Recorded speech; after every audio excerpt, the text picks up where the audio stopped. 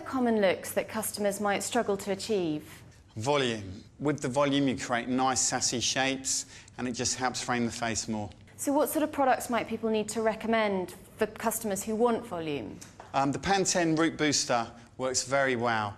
What I like about the root booster is you can spray it into the roots and you've got a lot more control, as opposed to a mousse which gives you lots of volume, but the customer tends to massage the mousse in one area. So they get one area which is lots of volume and the other area is a little bit flat. What is also nice about a volumizing spray, it's not very tacky. Although it says on the bottle it's a strong spray, you have lots of movement within the hair. And I think clients today like that rather than a set, rigid look. And how is it different from mousse, which you might also use? I find with mousse, the clients have to be educated a lot more because with mousse they tend to put it in their hand and go splat. Where with the, the, the, spray, you've got a lot more control. What we're going to do today, we're just going to create lots of movement and kick throughout the hair. Is that hair that's just been towel dried? Yes, just shampooed with the sheer volume shampoo in the Pantene range. As you can see, I'm using a lot of the product, but it's not a strong product. It just gives you the volume where you need it. So as I'm spraying it through and just massaging it into the hair gently. When you've finished with the root booster, just comb everything through, make sure it's nicely evenly spread. It's quite nice just to massage it all in, so you create lots of volume in the roots.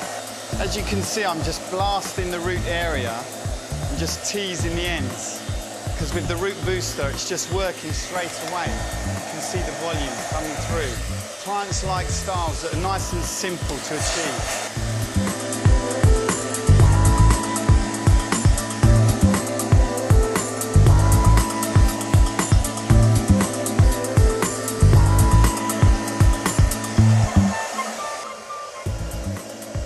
Now what we've created on Leslie's hair, we've got lots of volume and sassiness going throughout the hair. Why did you change brush when you were doing that? The reason we changed the brushes, the first brush, we create lots of root lift. It just holds it there. It's a thermo brush. So it just helps create a little bit more volume. And then with the ends, to create this like natural wind blow look, you just pick it, the ends out with a, a vent brush. If Leslie goes out into the damp hair, it's always nice just to use a protection spray. So you can put the hairspray on, it will just keep it in place. But again, the hairspray is nice and light, and it just gives it a nice shine and gleam, and it will keep it until Leslie shampoos her hair. But if Leslie wants to calm it down, then she can push this behind the ears. She's still got the volume. If you want more of an evening, you can like pull it out in front.